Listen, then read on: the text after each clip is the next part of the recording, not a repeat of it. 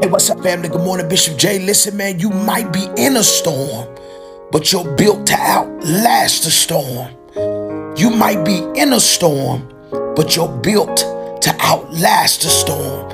I got a prophetic word that's, that's gonna bless a hundred of y'all right now at this moment. What was designed to cripple you is about to stable you. What was designed to cripple you is about to stable you.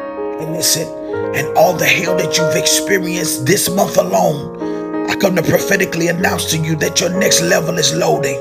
I need you to throw that in the chat. You can cry, but you better not fold. You can cry, but it ain't time to fold. The only thing we folding in this next season is laundry.